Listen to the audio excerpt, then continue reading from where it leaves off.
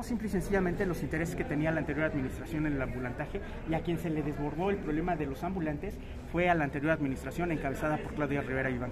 Recordemos que se incrementó más, en el, más de 200% el, eh, la presencia de ambulantes en el centro histórico. Oye, y